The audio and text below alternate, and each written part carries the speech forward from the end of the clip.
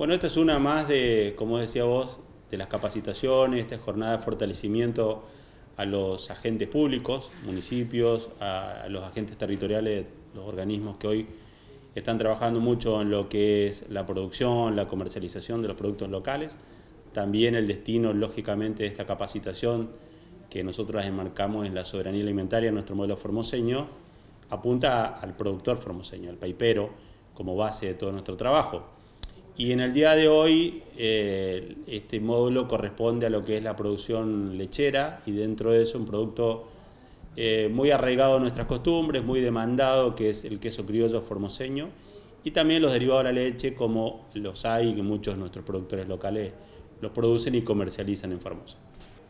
Lo importante es, convocar en cada capacitación, siempre eh, la concurrencia es muy importante, hay un promedio de 40 a 45 compañeros que están trabajando de todos los municipios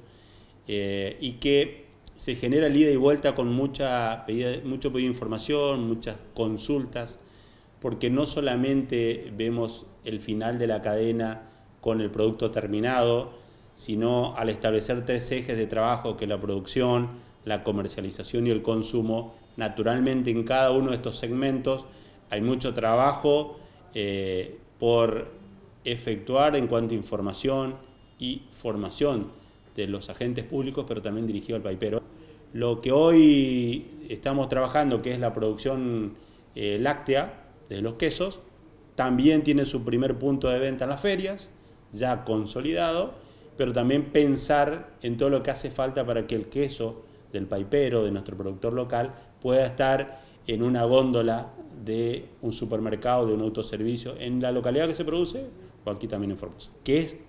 producto formoseño, de un paipero que superó la etapa de la producción para ya darle valor agregado allí en el lugar que produce. Y estar vendiéndose en un supermercado, eso tiene un valor muy importante y es orientar también a nuestros canales de venta a darle valor al producto formoseño, a tenerlo en una góndola, a competir con un producto que viene de otra provincia y que el formoseño lo elija al producto local.